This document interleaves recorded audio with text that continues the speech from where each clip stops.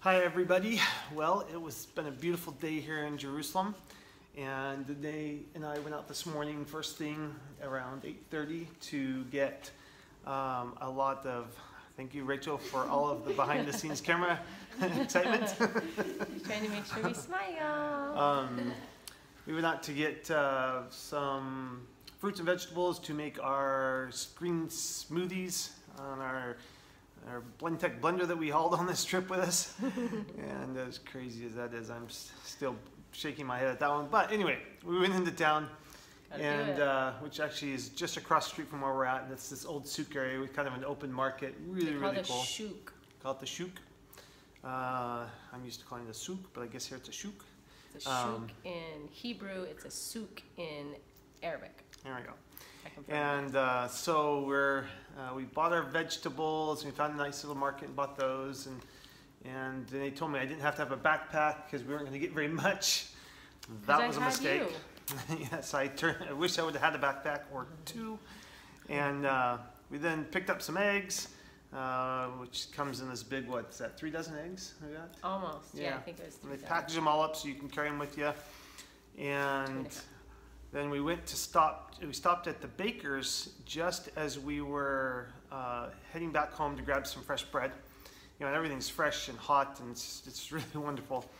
Uh, and Danae went to hand the uh, the baker's the payment and uh, this 50 shekel piece. No good. And It's the no guy good. looks at her and says, "No good." It's no good. No good. like what? They just. I just got it from someone. What do you mean? I just went to the bank and then I realized, oh no, I just got it back from the Eggman. What do you mean? No good. And then this old man came up, was right behind me, and all of a sudden he starts handing it 50. It's good, it's good, it's fine, it's fine. And so they compared it and then they both realized, no, it's no good. So turns out we or ends up being Swindled. we got swindled today. So we're we're out 50 shekels, which is about twelve dollars, maybe something like that. Fifteen dollars. No, Yeah, more like 12. no, like yeah. twelve bucks.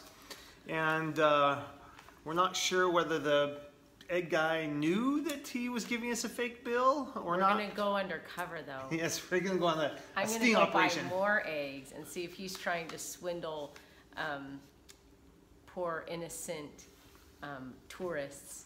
yes. So we're gonna give Little him another another hundred that we aren't tourists, so we're gonna go buy more eggs from him. And uh, if he gives us another fake one, then we are gonna call the cops, and it's gonna be really cool. But uh, once you looked at the bill, though, it's pretty obvious that it was fake. You can see up at the top, the lines at the top here. Let's see if I can get that at an angle. You can see it across the top that it doesn't. Things don't really line up. yeah. You know, it's kind of cut unevenly. You here, it's this, it just kind of cut unevenly here. You can see the edge. And then when you put it, it's not shiny like the real bills are. This this mark here on the real bills is nice and shiny.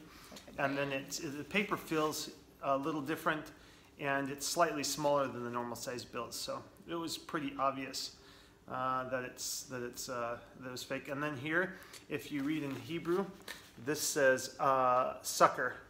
Just kidding. so anyway, that was the adventure of our day in the city and being part of a counterfeit, being caught in the middle of a counterfeit, you know, shekel ring. It's an egg ring. It's a shekel egg ring, and we're going to go undercover uh, next week when we have to get more eggs, and we'll let you know if we get swindled again. So, all right, Stay thanks tuned. everybody. Stay tuned.